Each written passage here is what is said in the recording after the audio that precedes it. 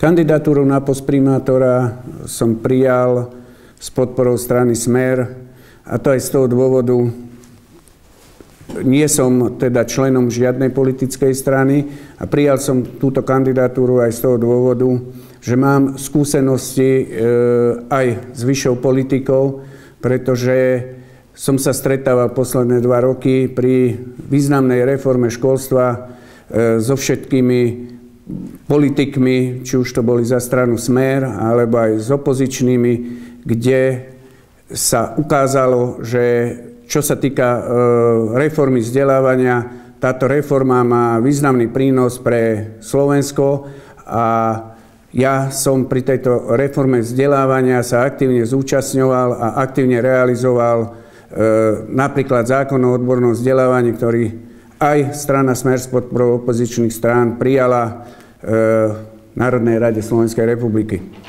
Narodil som sa v Zlatých Moravciach, 37 rokov žijem v Zlatých Moravciach, teda aj pracujem v Zlatých Moravciach, mám manželku, dve deti, ktoré sú zamestnané a vediem usporiadaný rodinný život, mám tradičnú, vyznávam tradičné hodnoty, ako je kompletná rodina, ako je manželská vernosť a ďalšie, e, výchova detí a ďalšie rodinné väzby, ktoré sú mi takým základom a podľa toho sa aj riadím a podľa toho aj žijem.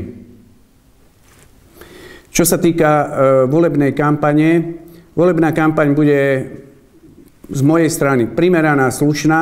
Treba si uvedomiť a aj voličov treba upozorniť na to, že v podstate aj volebný program, ktorý sa tvorí a máme už načrtnutý, musí byť postavený na dva roky, pretože táto pozícia nového primátora de facto bude iba na dva roky. A k volebnej kampani a k tým otázkam, ktoré, ktoré sú tu nastolené, by som sa chcel vyjadriť. Je to napríklad školstvo. Chcel by som, pokiaľ dostanem dôveru ako primátor mesta, školné, ktoré sa vyberá v Zlatých Moravciach pre materské školy a je najvyššie v celom regióne 12 eur, minimálne čas tohto ško- školného, až nie celé školné, e, naspäť vrátiť do materských škôl, tak aby materské školy, riaditeľky spolu s učiteľkami mohli tieto finančné prostriedky nejakým spôsobom využívať na edukačný proces, využíva na nákup edukačných pomôcok, na hrové činnosti a rozvoj materských škôl, pretože v súčasnej dobe tieto finančné zdroje sa vracajú do škôl rôznym spôsobom. Mám tu dokument a materiál, v ktorom sa píše, nechcem to vytrávať z kontextu, môžem vám to poskytnúť, ale že tieto finančné prostriedky, na ktoré sa skladajú rodičia, alebo ktorí rodičia platia, slúžia napríklad na platy učiteľiek. Takže túto disproporciu, ktorá tu je už niekoľko rokov, by som chcel e, vyrovnať a vlastne tie finančné prostriedky, ktoré rodičia vyberú, vrátiť do materských škôl. Samozrejme, týka sa to budúceho rozpočtu mesta. Čo sa týka napríklad nemocnice, v súčasnej dobe stav nemocnice ako meskej príspevkovej organizácie je dlhodobo neudržateľný. Som za to, aby zdravotná starostlivosť v meste bola zadržaná, teda aby bola poskytovaná občanom, aby občania mali zdravotnú starostlivosť, ale musí dôjsť k e, nejakej forme, e, či už to bude súkromný investor, transformácie áno, e, mestskej nemocnice s tým, že majetok mesta, mestskej nemocnice by mal zostať mestu. Čo sa týka napríklad bytovej výstavby, e, treba zistiť, či bude v Zlatých Moravciach záujem o výstavbu tzv.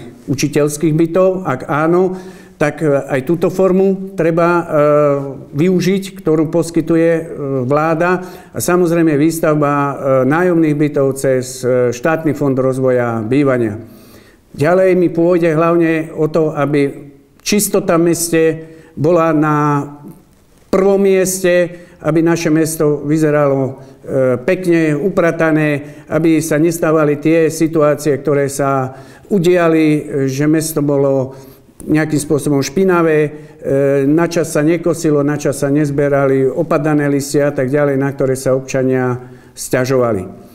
Čo sa týka mestských e, príspevkových organizácií, teda podnikov, mám skúsenosti s riadením príspevkovej organizácie a presne viem, ako príspevková organizácia má fungovať, ako má v podnikateľskej činnosti e, pracovať, ako má vykázať zisk, ako ten zisk treba zdaniť a následne ho použiť na hlavnú činnosť. Takže tvrdo budem e, za to, aby e, tieto príspevkové organizácie mesta aj teda podnikateľskej činnosti pracovali intenzívne a aby sa snažili vytvoriť zisk a aby v rámci podnikateľskej činnosti neboli stratové. Mnohí kandidáti, ktorí budú sa hlásiť o post primátora, budú rozprávať o zamestnanosti v meste. E, mám výhodu oproti všetkým ostatným kandidátom tu, že všetky spoločnosti, ktoré sú etablované v meste Zlaté Moravce, zahraničné, domáce, e, poznám, poznám management, poznám ich e, výrobný profil, ich výrobný sortiment a podstate všetko sa odvíja aj od vzdelanosti mladej generácie.